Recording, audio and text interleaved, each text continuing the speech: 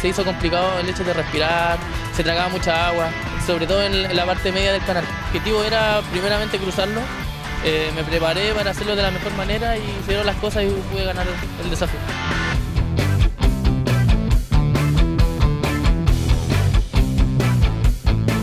Teniendo que sacar del agua a varios ah, en la mitad del camino porque la corriente ya los comenzó a tirar muy abajo, logrando la meta alrededor de 50 nadadores, eh, que es un muy buen número porque la corriente la verdad que estaba, era un verdadero río.